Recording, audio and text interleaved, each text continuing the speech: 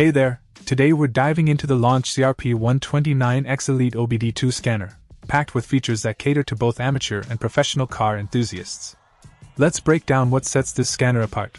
First off, the CRP 129X boasts a plethora of reset services TPMS, oil, EPB, SAS, BMS, throttle reset, injector coding, eliminating the need for multiple tools, potentially saving you thousands annually.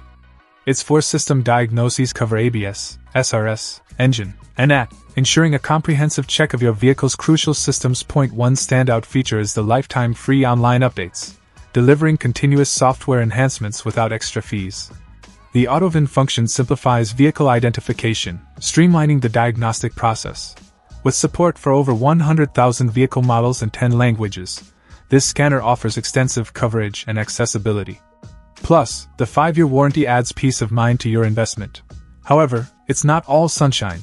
The 5 inch screen might feel a bit cramped for some users, impacting readability.